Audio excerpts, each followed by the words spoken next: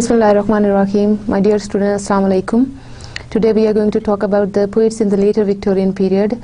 So far we covered uh, poets in the earlier uh, Victorian period plus uh, some of the novelists as well who were very much uh, important in the first half of the Victorian era. Fine. So my dear students, this is your lecture number 18, classes history of English literature and uh, COMSATS virtual campus Islamabad.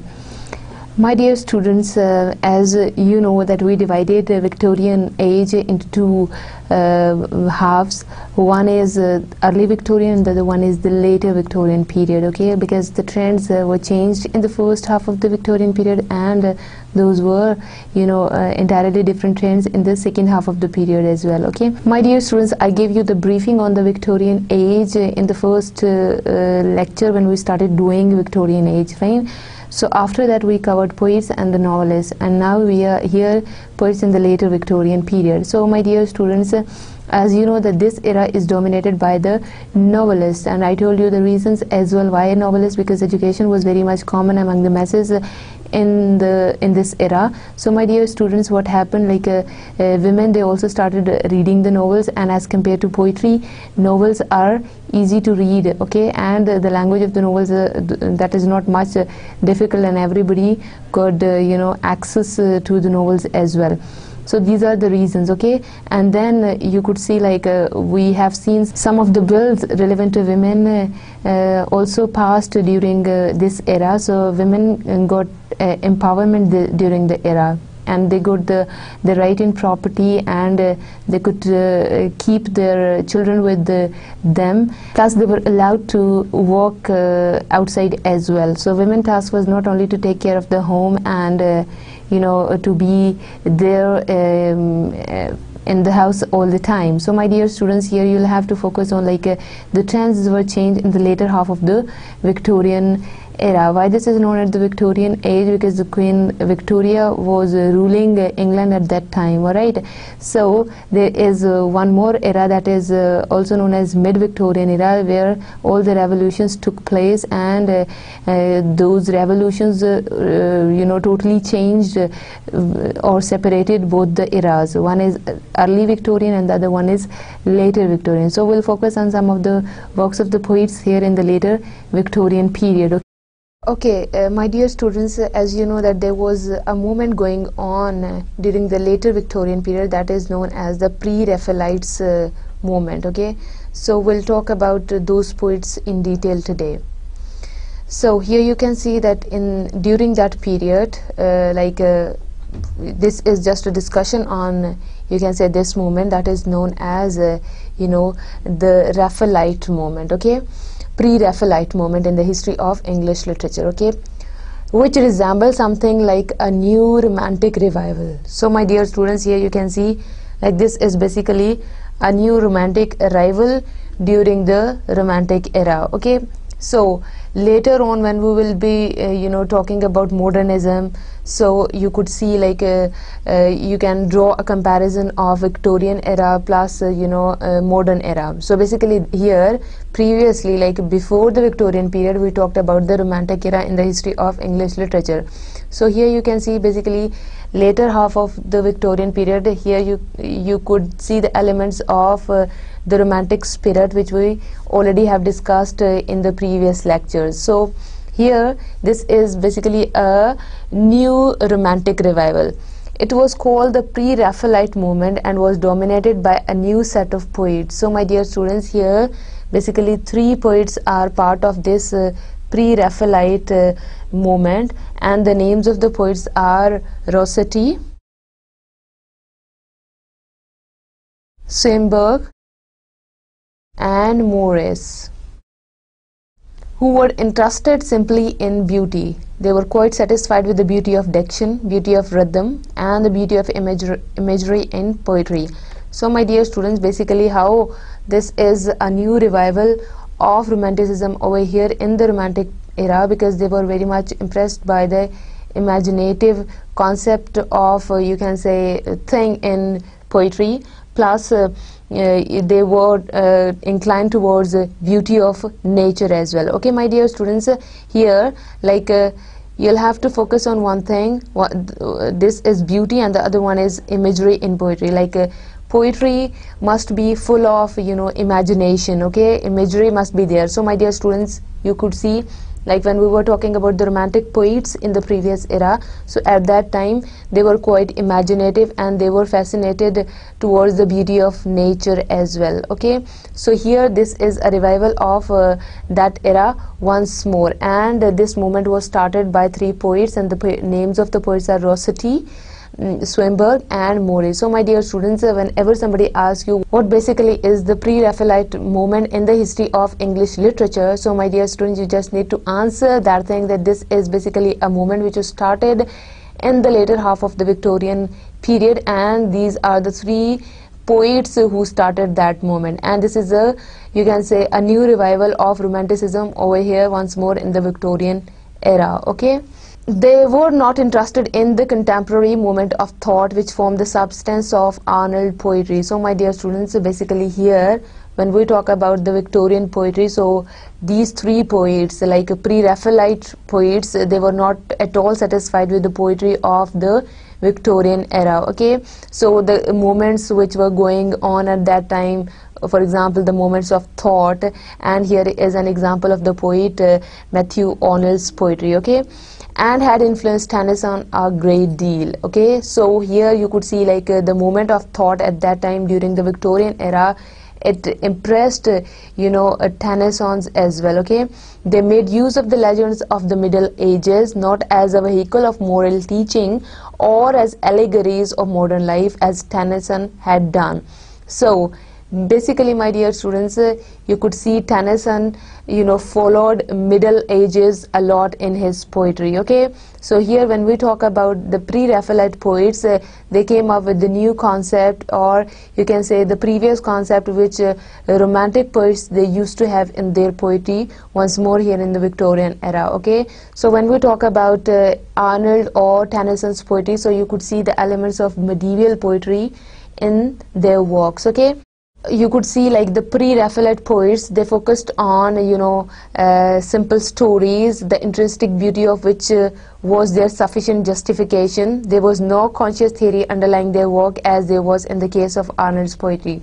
So my dear students you could see they uh, you know uh, once more we are here in the Victorian era where that is a revival of the romanticism. So my dear students basically they were quite fascinated by the beauty of nature they were interested uh, you know in uh, writing about uh, human relationships human nature about uh, you can say about the world world issues as well. Okay so they were quite near to the nature relevant to this aspect when we talk about Arnold or Tennyson, so my dear students, uh, at that time they used to follow the medieval, you can say, traditions of writing poetry. So, my dear students, as many times I told you, some of the things in you can say in some centuries these are similar to the previous ones and uh, some of the people in the later centuries they would be following the traditions of one century as well so here you could see after romantic period we are here in the victorian era. So my dear students the pre-raphaelite poets they were following the uh, romantic traditions of writing poetry. They talked about imagination about nature about beauty about love and romance in their poetry okay? It was in 1847 that a young artist named Holman Hunt came under the influence of Ruskin's first volume of Modern Painters. Uh, he along with his friend uh, Millais and DG Rossetti who were also painters determined to find a club or brotherhood which should be styled pre-Raphaelite. So my dear students, uh, during the later half of the Victorian period, uh, I would tell you and I kept on telling you before as well like uh, at that time there wasn't uh, uh you know a tradition of just uh, you know restricting yourself to poetry or to writing novels. So my dear student at that time people they were indulged in many other activities as well they were quite creative okay? So my dear students here you can see like at that time it was very much common like poets uh, they used to paint uh, the things as well okay? That is why they were quite uh, near to nature. So my dear students here you can see like in 1847 like uh, we are talking about a young uh, uh, you know artist. His name was Holman Hunt and you can say for, for the very first time he came under the influence of uh, Ruskin okay? And you can say his first volume of modern painters so my dear students at that time people they used to talk about painters uh, in their writings as well. So we for the very first time Holman he was impressed uh, by uh, the modern painters okay he along with his friends so here you can say like this is a whole story like how pre-raphaelite movement was started in english literature okay? So my dear students here you can say like he along with his friends uh, and dg rossetti who were uh, also painters. So basically he was a painter and his friends were also painters okay? And you can say they uh, they made a club okay? Or you can say where they used to have different activities like in a, in a kind of society at that time. So they gave it a name pre-raphaelite uh, you can say movement okay? Nature attentively with the object of expressing genuine ideas in an unconventional manner in sympathy with what was direct and serious and heartfelt in early Ita Italian painting after the artificial style of Raphael.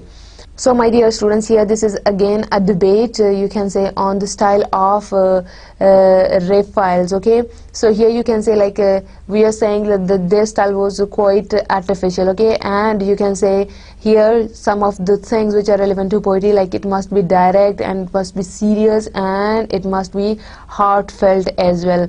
So you could see like uh, when we talk about painting so usually people perceive that uh, we talk about fantasy only and the style is quite artificial. So the things uh, which are not present in reality in society or in any culture so we just uh, paint those things. So same is the case with the you can say style of Raphael over here in poetry because their style was quite artificial. So when we compare this moment with the romanticism so you could see at that time they talked about imagination romance love nature. So here we can again comment on their philosophy as well that their style was also quite artificial okay?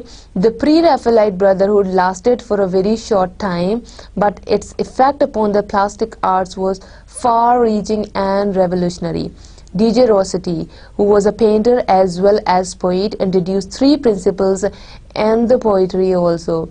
So my dear students, again this is a debate on pre-Raphaelite movement although you can say this movement is comprised of only few years but you can say the principles which they defined during that very short period of time those are quite worthwhile and people still follow those principles while writing poetry okay the pre-Raphaelite school of poetry did not regard poetry as being prophetic or as being mainly philosophical.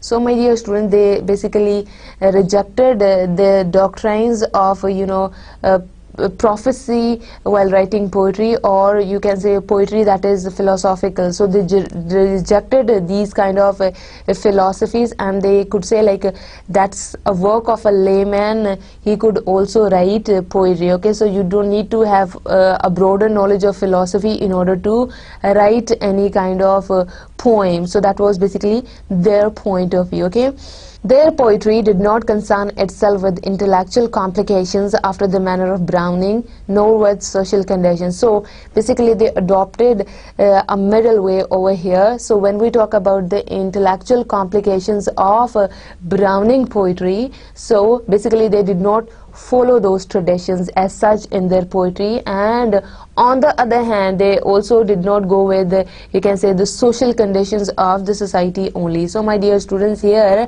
when we talk about pre-Raphaelite, uh, you can say uh, movement and uh, the works of pre-Raphaelite poets. So you could see at that time that they adopted a middle way while producing their work. Okay, thus it divided itself sharply from the great writers of the time, Tennyson, Browning, and Arnold. So my dear students, uh, basically, uh, you know, they did not follow the traditions of uh, these three poets, Tennyson, Browning and Arnold okay it was not an intellectual movement at all but it brought back the idea that poetry deals with modes of thought and feeling that cannot be expressed in prose so dear students here you can see basically uh, they rejected the doctrines of uh, you can say the poets uh, in the first half of the Victorian period. So my dear students basically they they they were saying in a way that Poetry is a reflection of uh, your thoughts, your imagination and ideas. So that is not possible to express your thoughts in prose okay? So basically in order to show your feeling you'll have to be imaginative a lot. As far as prose is concerned so usually people think that uh, that is based on reality. So my dear students according to the pre-Raphaelite movement you could see in order to express your feelings your emotions your thoughts so you need to be a poet okay? So you cannot uh, be an ordinary writer in order to express your feelings in a good way Moreover, it gave greater importance to personal feeling over thought. So my dear students, here you can see like uh, whatever you feel that is more important as compared to whatever you think. So that is the doctrine of the pre-Raphaelite, you know, poets at that time. Okay. It also introduced symbolism which was so far rare in English poetry and insisted on simplicity of expression and directness of sensation. So my dear students, uh, you could see like Victorian poetry that is a reflection of uh, their society most of the time, like the first half of the Victorian era. So when we talk about the later half of the Victorian period and particularly about the pre-Raphaelite poets of uh, that time so basically for the very first time they insisted to you know use uh, symbolism in the poetry okay? So here you can say mm, uh, they were to towards uh, you can say the simplicity of expression and directness of uh, sensation as well. So you could see once more over here like uh, your expression must be simple and uh, the way you are expressing your sensations uh, that must be indirect so my dear students here you can see two points that they were quite uh, opposite of you can say expressing uh, your thoughts your feelings in an indirect way. Okay? On the other hand they were not quite complex poets as well. They basically they encourage those poets who used to write uh, their poetry in a simple way. Okay Another thing, the fleshy images used by the pre-Raphaelite poets were full of mysticism. So my dear students, here you can see one more concept that is relevant to the pre-Raphaelite movement, that is the element of mysticism was present in their poetry, okay? But the Victorians who considered them as merely senses were shocked by them. So my dear students, say here, like most of the people, they think that they talked about love, about romance, uh, or about nature. So element of uh, mysticism was not present according to some of the people. So they were quite shocked when they looked at their poetry and they, you know, checked the uh, mysticism or you can say mystic element in their poetry. Okay, so so my dear students, uh, that was uh, uh, basically, you can say, an introduction to the pre-Raphaelite movement in the history of English literature. Like what kind of movement was that? My dear students, I gave you the briefing on the pre-Raphaelite poets as well, what was their doctrine or philosophy at that time. So my dear students, we could see basically that was a new revival of romantic movement once more in, uh, you know, the Victorian era. They focused on imagination, they focused on symbolism, they focused on the direct uh, expression of uh, your feeling, of your thoughts and imagination. So my dear students, basically they would uh, incline towards the simplicity of uh, the expression in poetry as well. Dear students, uh, you could see like uh, the poets uh, who worked uh, during the first half of the Victorian period, that is also known as the early Victorian period. You could see like uh, the pre-Raphaelite poets, they rejected the doctrines and the philosophies of the, uh, you know, the all those poets who belong to the first half of the Victorian period because uh, they were quite you can say complex and uh, you can say the elements of imagination were, were not present there in their poetry and they were quite harsh as well. My dear students time and again we were talking about uh, you know uh, Victorian uh, poetry Victorian novelists and you can say the Victorian era as a whole. So when we talk about Victorian literature, so that is basically a reflection of that very society, okay? So, like the poet who walked uh, in the first half of the Victorian period, so you could see like in order to depict that society in true manners uh, like uh, their poems are quite complicated and uh, they express their feelings in an indirect way as well. So dear students the, these this is basically the difference between early half of the victorian period plus the later half of the victorian period okay like they they were quite you know lacking in imagination when we talk about the early victorian poets and when we talk about the later Victorian poets. So they are full of imagination, they are full of uh, senses, full of uh, love, full of, you can say, their intimacy towards nature.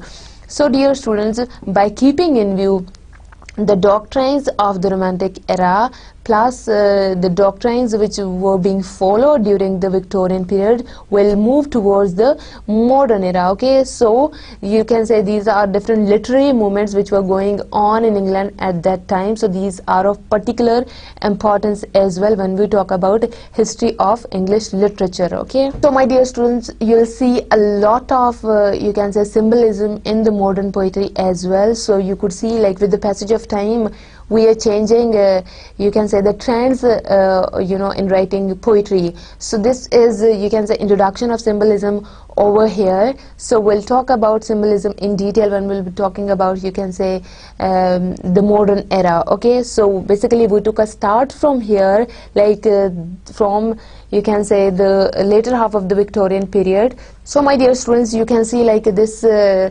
pre-Raphaelite movement is not at all an intellectual movement as uh, you can say as poets Tennyson, uh, Arnold and Browning they used to follow certain uh, you can say intellectual kind of uh, things in their poetry. So basically this is uh, based on imagination on symbolism. As I told you uh, at the start of the lecture today like when we were when we took a start about the pre-Raphaelite movement basically this is a new revival of uh, romantic period over here okay? So basically th these are the differences between the two eras uh, you can say the two periods or you can say the two halves of the Victorian period as well. First is based on uh, intellectual thoughts the second is about imagination and uh, symbolism. So my dear students, uh, now we are going to talk about uh, the pre-Raphaelite uh, poets uh, in detail, okay? So first we'll take a start with the poet, uh, the name of the poet is Dante Rossetti, okay? We'll talk about Dante Rossetti first. He is uh, the eminent poet in the later half of the uh, Victorian era. Fine. So, my dear students, uh, I'll just give you the briefing about Dante Rossetti here. Uh, he, was born in 1828 in London. Father was an Italian patriot exiled from uh, Naples for his uh, political activity and a professor of Italian at King's College. So my dear students here, basically they are from Italy. So his uh, father was uh, uh, exiled from somewhere and now they are residing in London. And I'm talking about the era that is Victorian age and the year is 1828. Okay, mother was half Italian. Okay, children Dante, uh, William, and Christina grew up fluent in Italian and English. So basically, they were bilingual kids.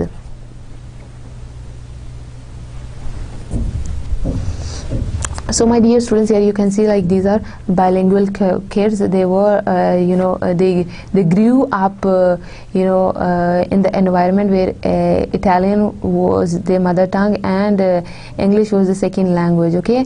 So basically that was the first language of England but for them that was the second language because they had to speak English when they move they had to move in this society okay my dear students? Dante in King's College in 1846 he was accepted into the Royal Academy to study art okay? So he left to study under Ford uh, Madox Brown in 14, 1848 sorry In 1848, he, William Holman Hunt, and John Everett Millais began to call themselves the Pre-Raphaelite Brotherhood. The Pre-Raphaelite Brotherhood. Okay, so we'll talk about this concept as well. This group attracted other young painters, poets, and critics. So they made a group like these three poets. Uh, they make a group, and the names of the poets are Dante Rossetti, and uh, two more are William Holman Hunt, John Everett. Uh, uh, So my dear students here you could see like uh, uh, the uh, Raphaelite brotherhood okay pre-Raphaelite brotherhood uh, that was there the concept is there and uh, you know these three poets they they made that group okay? And it attracted many other young painters you know artists critics and you know poets of that time in 1849 Dante exhibited his first painting. So my dear students here you can say like a, he was a, a painter as well. He was an artist. He met Elizabeth Siddal who became a model for many of his paintings and sketches okay? They married in 1851 so basically he he married a model who who was there in his uh, most of the paintings. Dante later met and fell in love with Jan Burden who later married Morris. J uh, Jane Morris became one of Rossetti's idealized women okay so basically here you can see like uh, he fall in love with another girl. So this is all about the biography of uh, Dante Rossetti okay? After the death of his wife uh, Rossetti lived with Swinburne. His uh, brother Michael and George Meredith they continued painting and he continued painting and writing poetry okay? Okay my dear students. So um, his uh, mistress, one of his model Fanny Cornforth became his mistress. In 1872, Rossetti suffered a mental breakdown and he died in 18 82 so my dear students this is all about uh, the life history of uh, Dante Rossetti okay images of Rossetti and his tunnel. So here you could see like uh, uh, the models in his paintings as well okay? So so basically these are the pictures from his paintings okay? The, these two more pictures are from his painting and you can see the same model is in all the pictures okay? The pre uh, okay developed out of a romantic movement so we'll discuss romantic movement as well. A, a call for a fresh vision a challenge to orthodoxies okay? So the uh, you know uh, poor con uh, uh, conservative thought so this was basically a challenge to all those orthodox. Um, truth was not a given fact but something relative to the individual mind. So basically this is uh, uh, not any kind of other fact external fact that is relative to the individual mind. And truth uh, lies within human mind aim to go back to a more genuine art rooted in realism and truth to nature. So basically these are uh, some of the uh, basic points of the pre-Raphaelite uh, poets. Okay, bright painting on a white background. So here we are talking about the painters. Basically that that group was of a painter. So they uh, you know they used to make bright paintings on a white background okay? Attention to detail and color. So basically they put a lot of attention uh, to details and colors of the pictures okay? Subjects from medieval tales poetry and religion. So basically this is about uh, uh you know uh, the anglo-norman tales and poetry and religion subjects were based on all those things due upon the works of Shakespeare, Keats and Tennyson. So basically here my dear students uh, they got an inspiration from Tennyson who is uh, an early Victorian uh, era poet and uh, Shakespeare as well who was uh, uh, an Elizabethan poet and Keats who is a romantic poet. So here you can see like so basically they they provide basis to their works uh, like on these three poets works okay? So they got an inspiration from Shakespeare Keats and uh, Tennyson. So basically Shakespeare uh, like uh, we talked about uh, decline and the fall of uh, human beings like of heroes. So I told you in detail about Shakespeare and then Keats is a romantic poet and Tennyson he belonged to the Victorian early uh, period. Fine. So my dear students here you have to keep in mind the concept of pre-Raphaelites okay? So pre-Raphaelites.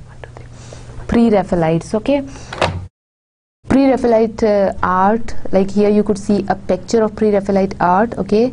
And then Dante Rossetti's poetry. So basically he was a painter and he was a, you know uh, a poet as well. So here you can uh, check his poetry as well. Longing to return to a world of medieval uh, Christendom, longing to return to world of medieval Christendom. Okay, combination of Anglican piety and Italian impetuosity. So he had, I, told you, he had roots in Italy. Basically, his father was an Italian and his mother was half Italian and half English. So my dear students, here you can see the combination of Anglican piety and Italian impetuosity and Italian impetuosity in his works. Okay, attention to details, sister arts of painting and poetry. So basically, he, uh, you know. Uh, brought uh, uh painting and poetry along okay so uh, basically if you could see the themes in his painting so those are very much similar to the poetry as well so my dear students this is uh, my dear students this is about uh, Dante Rossetti's poems okay Christina Rossetti and uh, you know uh, she was born and she was sister of uh, Another prominent figure in the later half of the Victorian era is uh, Christina Rossetti. Fine, so she is sister of Dante Rossetti. So he was a painter, he was a poet as well. So we talked about the his uh, uh, you know themes in his poetry. So here we are going to talk about Christina Rossetti fine so my dear students here you could see like in order to give you the background information we're discussing every point here. She was born on December 5 uh, 1830 in 1848 uh, became engaged to James uh, Collinson but broke off engagement after he reverted to Roman Catholicism. So basically she was a Protestant so when uh, he reverted to Roman Catholicism so he uh, sh she left him okay. Uh, Christina and her brother attempted to support the family by starting a day school but the attempt failed okay she was in love with Charles uh, Cayley. She was in love with Charles Cayley but refused to marry him because he was not a Christian. Okay, at first drawn to the uh, evangelical branch of the Church of England. At first drawn to the evangelical branch of the Church of England, but later drawn toward the uh, Tractarians in the 1840s but later drawn toward the Tractarian in the 1840s. Okay, after rejecting uh, uh, Cayley, uh, she lived uh, vicariously in the lives of other people. So she started doing social works uh, after you know she rejected this person. After 1875, involved with the Society of Promoting Christian Knowledge. So basically, she took a start from 1840s and uh, uh, you know by 1875 she was enrolled in so many uh, societies like a kind of you know who used to promote Christianity or Christian knowledge okay last 12 years of her life were quiet ones okay died of cancer December uh, you know 29 1894 so my dear students this is all about uh, uh, Christina Rossetti who was a sister of Dante Rossetti so basically this is his biographical information okay uh, now come to the point uh, that is uh, poetry, the, the main focus for uh, today's lecture, that is poetry, okay? So Christina Rossetti's poetry never completed a part of the pre-Raphaelitic brother brotherhood. Uh, Goblin Market and other poems. So these are basically, uh, this is the name of the poem, Goblin Market, and other poems with this name he pub published uh, these two, uh, you know, um, uh, things in 1862. The Prince Progress and Other Poems in 1866. Themes of frustrated love and tension between desire and renunciation characterize her poetry. Okay, Gothic strain in her poetry. Poetry is characterized by hiddenness and reserve. Art is a refugee. Art mediates between this world and the transcendent world. Okay, poetry mediates between religious values and aesthetic values of pre Raphaelite movement of pre Raphaelite movement of pre-Raphaelite movement okay? an aesthetic uh, of renunciation. So my dear students here you could see like the themes in his poetry okay? And uh, you know his poetry as well some of the works some of the eminent works uh, which uh, he did uh, you can you can see over here in this slide. And plus uh, you know her point of view about poetry is that poetry mediates between religious values and aesthetic values. So this is something which is between religious values and the aesthetic values okay? And you know when she talks about uh, art okay? She was also fond of painting so when she talks about art so she's saying that art mediates between this world and the transcendent world okay my dear students? So here you can see a combination of uh, different things together like art mediates between this world and the transcendent world and then so basically poetry mediates between religious values and aesthetic values okay? So this is uh, basically uh, the essence of the pre-Raphaelite movement as well okay Goblin Market this is uh, a work uh, uh, done by uh, Christina Rossetti, okay, an allegory of temptation and redemption. So the, basically this uh, work is all about. The little man represents worldly affections, okay, so this is the story of a little man. The two sisters could be the same, two sides of uh, Christina's own character. So basically she represented two sisters uh, in this work. So here we can say like these are the two phases of Christina's own character, okay redemption of guilty person by innocent one. So basically this is in order to uh, you know uh, the use of uh, allegory is there. So redemption has been allegorized in this work. So basically this is a redemption of guilty person by an innocent one and analysis of gender roles as well. So my dear students by keeping in view the scenario of the victorian age you can see like uh, the issues are still here. Like worldly affection is there okay? And the, the role of the little man. Again one more uh, concept and dual face personality okay? So here my dear students you can see like in order to represent two sisters in this work she represented basically her character in two different ways okay? And this is basically a redemption of the guilty person by an innocent one. This is again a kind of hypocrisy you can say analysis of gender roles okay? So basically she was uh, uh, very much uh, into uh, the analysis of uh, you know gender roles okay my dear students? So while living in the society gender roles are very much important so basically maybe she wanted to check the uh, unequal distribution of rights uh, um, among men and women of the society all right Dante Rossetti's illustration of Goblin Market. So my dear students here you can see like this is a, a Goblin Market and other points by Christina Rossetti. So my dear students, here you can see some of the images of, uh, you know, goblin market here, right? Here you can see in this picture, like two sisters, they are sleeping. So basically this, these uh, are the two faces of Christina, okay? So in the second one, you can see one character is there. So basically she is trying to represent the Victorian society of that age, okay? Okay, dear students, uh, as you know that we are dealing with the, the poetry of the uh, later Victorian era. Fine, so here you will see one more uh, character over here or the poet of that era, the name of the, okay, Walthamstow. William Morris was born on March 24, 1834 at Elm House, Walthamstow, okay.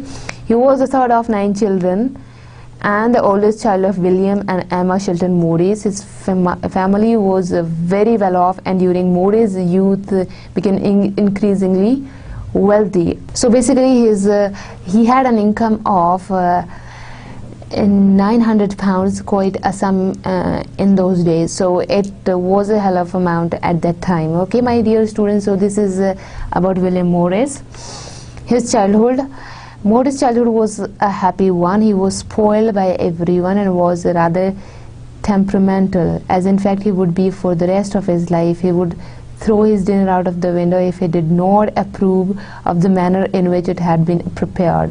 He was threatened at a very early age, at many young gentlemen of his day were, with a great passion of all things medieval. Fine, so my dear students, here again you'll you'll see like how did he spend you know his uh, you know uh, childhood he was a kind of stubborn baby. So uh, you know he used to throw away his meal as well if it is not prepared in a way that uh, he told anybody okay? At age 4 he began to read sir walter scott's uh, waverley novels and he had finished them all by the time he was 9 so basically he started reading sir walter scott's uh, he was uh, a scottish basically um, you know uh, novelist. So he uh, he started reading his novels when he was the age of 9 and by the age of 9 he finished reading all those novels. So basically from his childhood he was very fond of uh, reading novels, okay.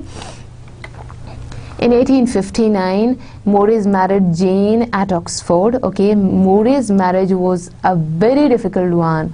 Jane was moody and frequently ill, and within a few years of their marriage, playing Guinevere this time, ha- had embarked upon a long affair with Rossetti, which permanently strained Maury's relationship not only with Jane herself but also with the man who had been first one of his heroes and then one of his closest friends. So, my dear students, when we were talking about uh, Dante Rossetti, so I told you like the way he, uh, you know. Um, he was uh, in love with the lady and this is the same lady. So we are talking about the same lady over here now okay? The wife of uh, uh, Morris okay? So uh, it destroyed their relationship as well Morris and you know uh, Rossetti they used to be very good friends but when he was uh, he got interested in his wife so their friendship it got uh, you can say spoiled okay so in 1862, Morris designed the first of many uh, enormously influential wallpaper for a company. So basically, you can see like uh, the in the later Victorian period, many of the poets uh, they were also artists. Okay, they used to paint the things as well. So here you can see like Morris, he you can say he was also a kind of artist here. So he designed the wallpapers for a company in 1862. Very good design papers at that time. Okay. In 1870, saw the publication of Maury's prose translation of the Vals- Volsunga saga, the story of Val- Wa- Volsungs. Volsung. In 1870, saw the publication of Maury's prose translation of the uh, saga, the story of the Volsung. So this was basically his first prose work. Okay, Morris saw the socialist movement as a way his problems of poverty unemployment. He also thought that the movement could help fix the uh, death of art and the growing gap between the upper and lower classes, which is so as being the pervasive legacy in Victorian society of the ongoing industrial revolution. So basically, my dear students, as I told you before, the industrial revolution which uh, was going on uh, during the victorian era. So my dear students here you could see like uh, there was one more thing that was socialist socialist movement was going on during that period. So he could say like uh, while looking at this moment that uh, people can uh, resolve their issues like uh, the problem of poverty of unemployment as well.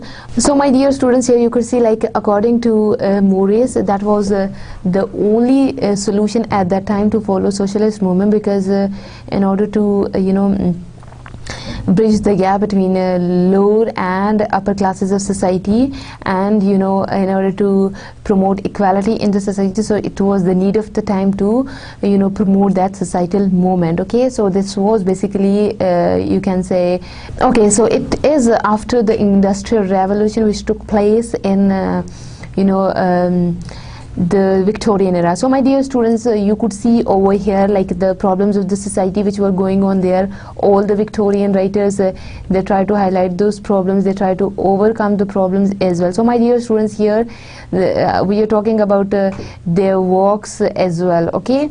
So, uh, dear, what you have to do over here is by keeping in view like uh, the kind of chaos which was there in the Victorian era. So, you'll have to keep in uh, mind that chaos okay? The focus was on uh, child labor okay? Uh, like uh, as we were uh, talking about the novelists um, uh, in you know the victorian period okay? So you could see like charles dickens pointed out child labor and unemployment in the society and classes. So here you can just relate charles dickens here with the morris uh, when he talks about like to bridge the gap between lower and upper classes of the society in order to have equal rights in the society. So my dear students here the same point charles dickens point uh, you can find out over here as well okay?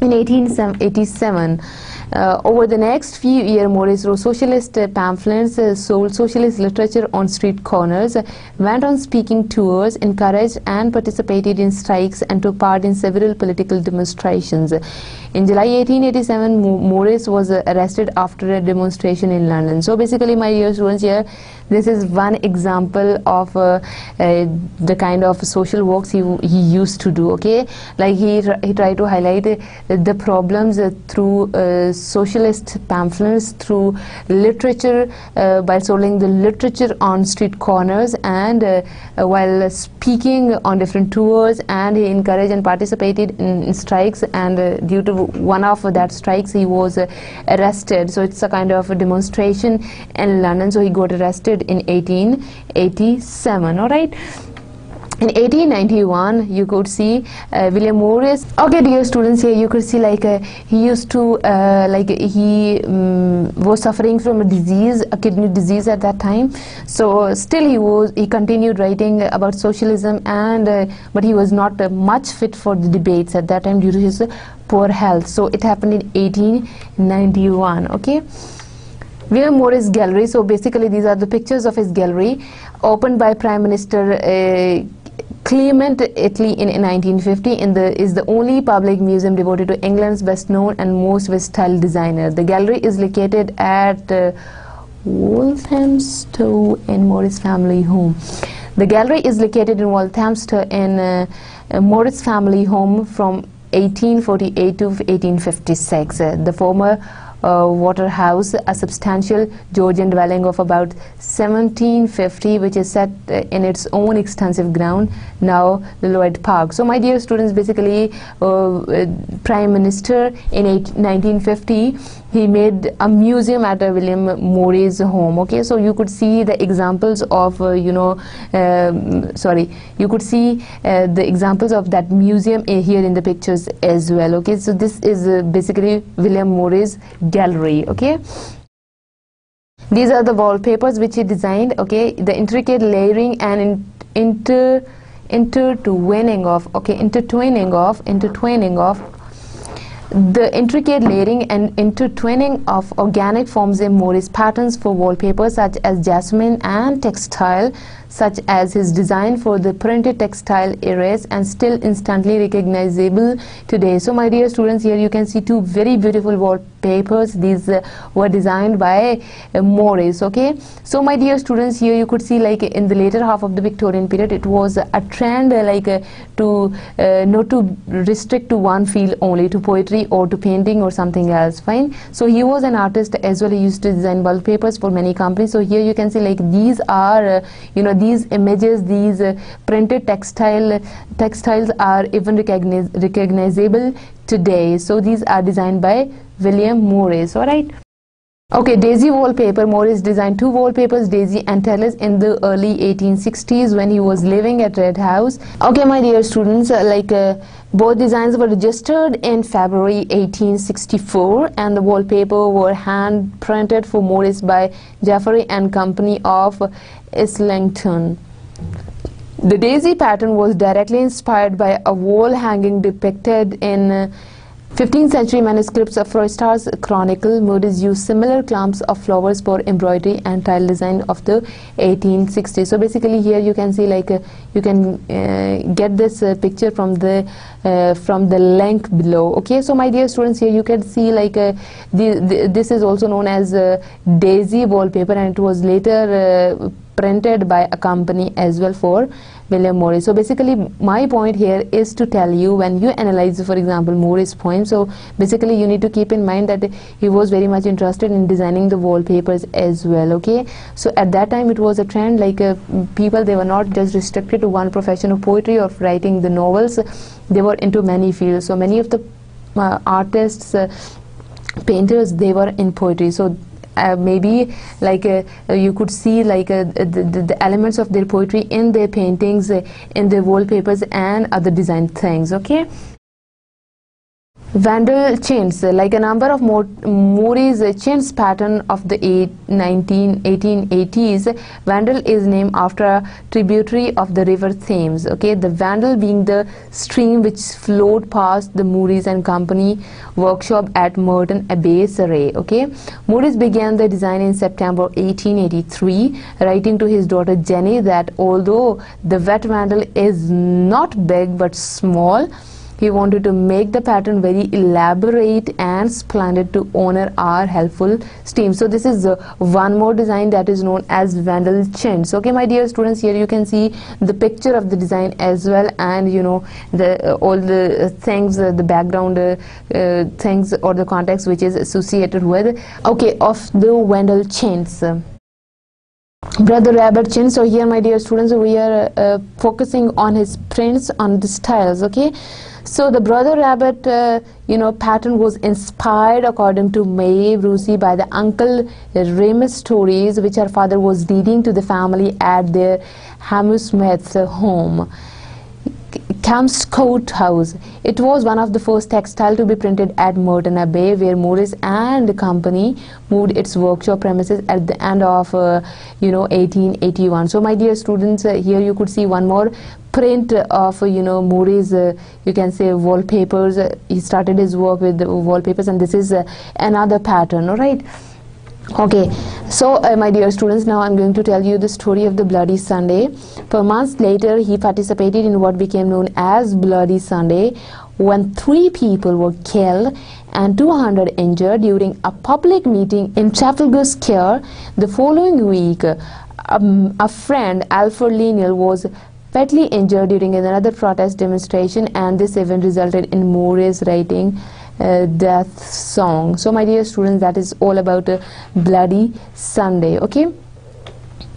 Socialist as i told you like uh, poets of that uh, era and the novelists they used to follow the socialist movement as well okay? He became a committed socialist joining the democratic federation and later founding the socialist league and working tirelessly as a political activist.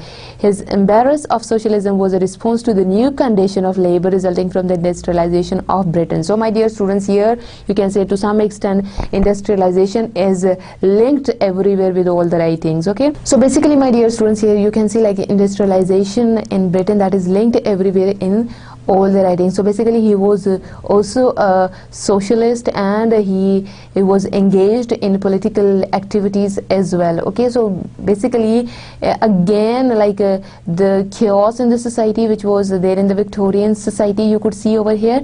And uh, so my dear students here like uh, uh, that is the response to the new condition of labor resulting from the industrialization of Britain as well. So basically, in order to fight for the rights of all human beings, uh, you can say like the novelists and the poets, they were interested in these kind of activities as well, and you can see the true depiction in their works. Okay.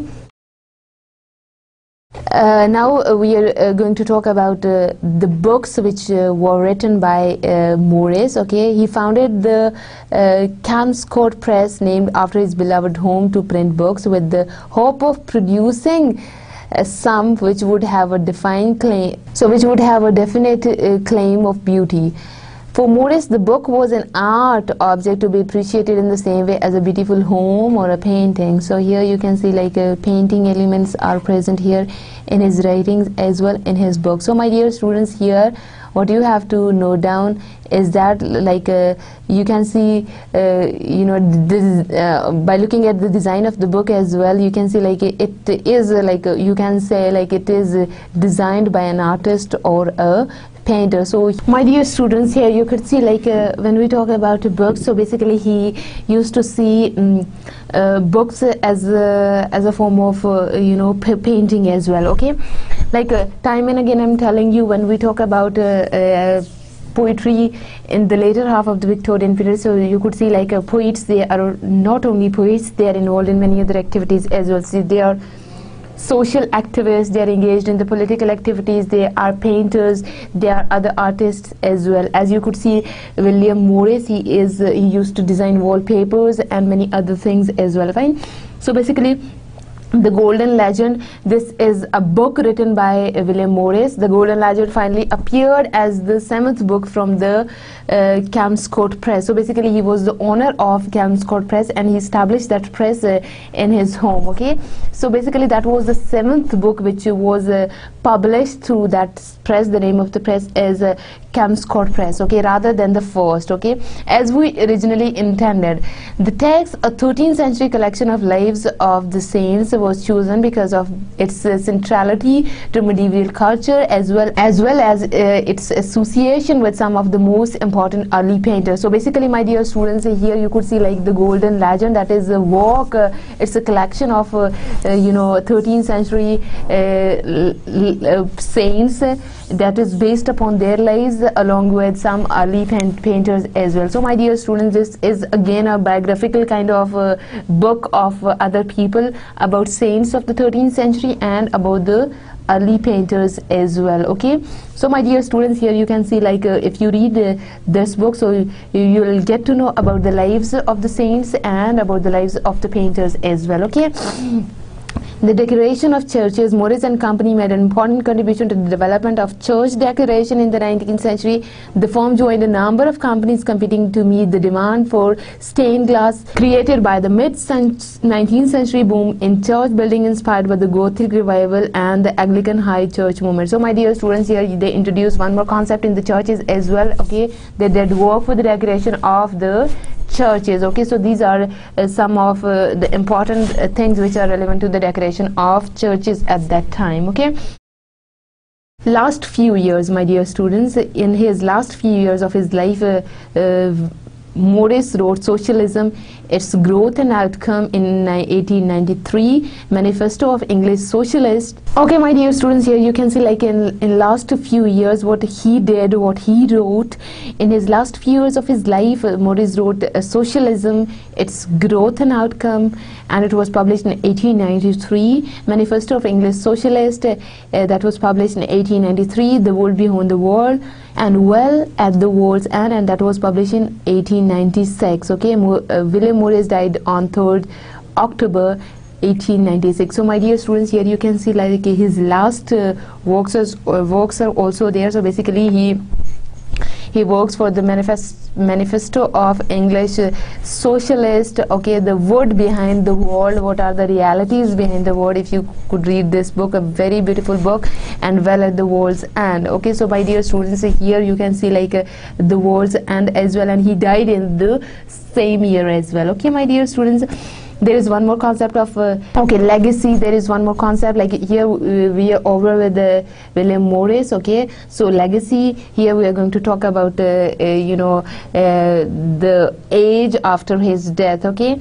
Morris ideas lived on even after his death not only in the works uh, of his uh, protege John Henry Dearle not on not only in the work of the protege Henry, uh, John Henry Dearle, who took over as artistic director of the film and guided it almost until it ends but in that of the countless other artists and designers who for a century and a half have looked to Morris for inspiration.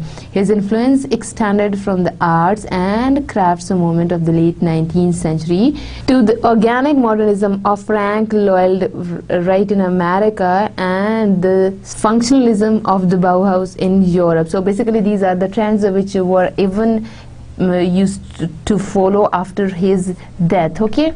So uh, my dear students, uh, let me tell you some of the things uh, relevant to the lecture today. Actually, we took a start with the poets of the Victorian age, later half of the Victorian age. There you could see like uh, we talked about uh, Dante uh, Rossetti and then Christina Rossetti and then you know William Morris. We took a start with the Victorian poets in the later half of the of the Victorian era. So my dear students, there you could see like we talked about Dante Rossetti, you know Christina Rossetti and then uh, William Morris. so my dear students here you you are going in another direction like uh, for example when we were talking about uh, the novelists and the poets of the first half of the you know Victorian era so you could see over there like there was a kind of restlessness in society chaos in the society so so dear students here you could see like uh, there was restlessness in the society child labor was very common unemployment was there and there was class differences as well when we were talking about the first half of the Victorian era.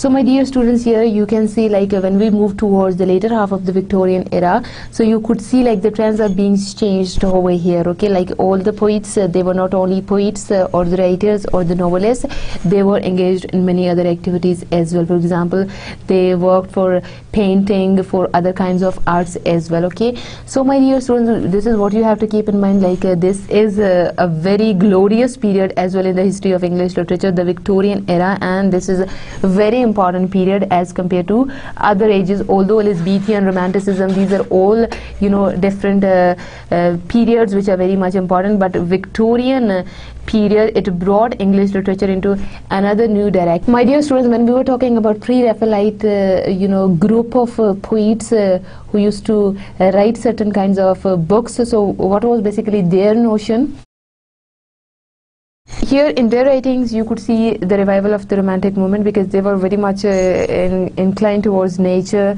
towards beauty okay? So in the first half of the victorian era you could see like uh, that was uh, against uh, like uh, everything was against the romantic movement in the history of english literature. So my dear students here in the later half of the victorian period again you can see like uh, the romanticism is being you can say revived over here in this era. So this is what you have to keep in mind about pre about pre-Raphaelite poets okay? Okay basically uh, the poets of the moment the pre-raphaelitic moment uh, they used to say the pre-raphaelitic moment they used to uh, think that poetry is uh, not at all based on any kind of uh, intellectual thing or that is not at all philosophical. So here you can see like they followed the tradition of the previous poets like Tennyson Arnold and you know Browning okay? So my my dear students you you could feel the essence of uh, their poetry here in the later half of the Victorian period as well okay? Okay another point which was very much important about uh, uh, you know uh, the poets uh, of the Victorian later Victorian era was that uh, basically they used to think that poetry is a kind of imitation like it's a spontaneous overflow as well and it cannot be expressed in form of prose. So my dear students here you can see maybe the novels that was on the top position here in the Victorian era so you can say like uh, there was an element of resistance for the poets as well so they were maybe they were against uh, prose they were against writing novels. So they were saying like uh, poetry or uh, expressing human emotions that is not easy to express in form of uh, you know uh, prose or in form of novels or in form of you know any simple language. So human thoughts human feelings human emotions these are very much compli complicated. So so basically in their poetry you can see the elements of morality uh, there as well okay? In order to uh, teach uh, human beings of that society some moral values so you could see those elements as well in there. Along with morality you could see reality and spiritualism as well okay?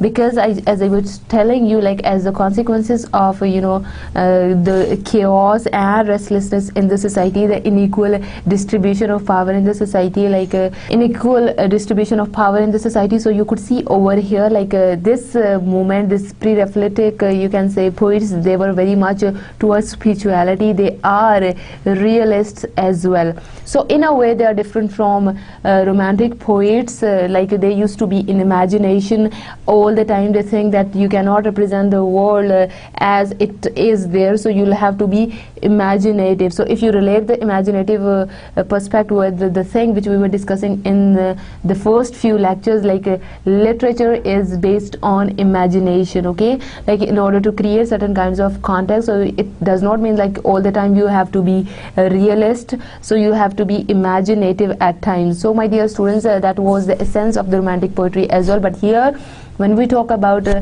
uh, later Victorian period uh, the poets in that period so they were realists they were spiritual and they focused on the morality in the world as well in order to teach uh, individuals of that very particular society some values some things to respect and to avoid that chaos that restlessness from the society. So basically that was their point okay? Okay then you could see like uh, the Italian tradition is also also there like uh, Christina Rossetti and uh, you know Dante Rossetti they were uh, from Italy. They had roots in Italy. So you can see like uh, some of the elements uh, of Italian music Italian painting and Italian writings here and there you know English writings as well. Okay so basically this is a variety of an entirely a new trend is being followed here in poetry as well um, you know in the later half of the Victorian period. So basically these are some of the poets which you have to keep in mind. Okay my dear students uh,